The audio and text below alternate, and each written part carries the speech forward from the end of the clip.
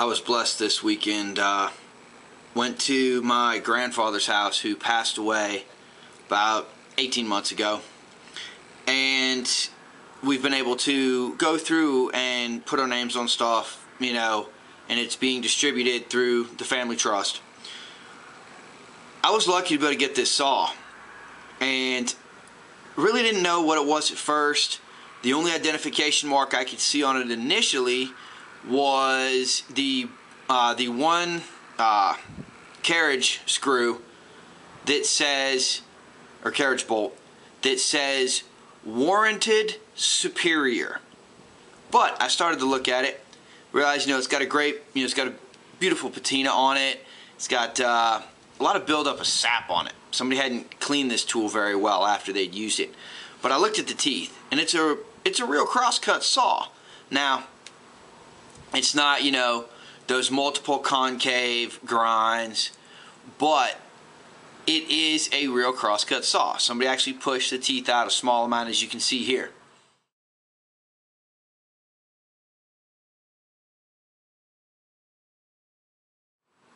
It's got rakers on it.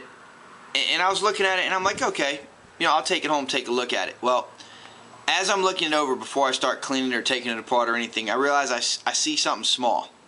I'll show you guys a couple of shots of that.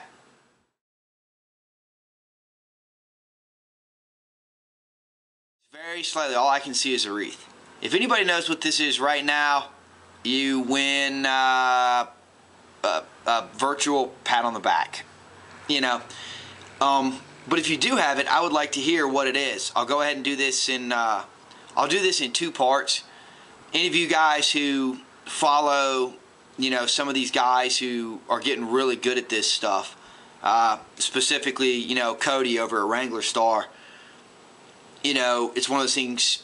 You know, watching him, I was able to take a few things I did know and clear it up learn a lot of new things, especially some of this knowledge that he's got on where this stuff comes from. So I'm going to go ahead and take my grandfather's saw here and take it, try to get it as best taken care of as I can. The one thing I don't like on it is you can see that it's got a little bit of lacquer on the handle right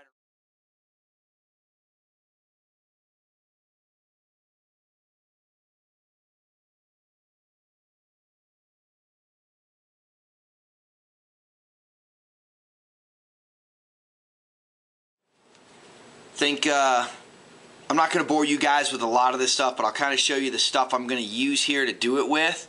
And then I'll show you a few bits and pieces and we'll take a look at the end product. The items I'll be using to clean this, I'm going to start off with mineral spirits. Try to pull any of that sap or whatever other liquids or contaminants are on the metal itself. Use a screwdriver just to take the uh, handle, separate it from the blade. And then uh, I've got some 400 grit sandpaper and some steel wool. I'm going to be very cautious using those. Only use those on areas where I absolutely have to, but I figured I'd put them up there anyway, just so that you know it's obvious that I didn't do it all with my uh, with my puck and my honing oil there. Those will be the last ones, and most of my work will actually be done with those.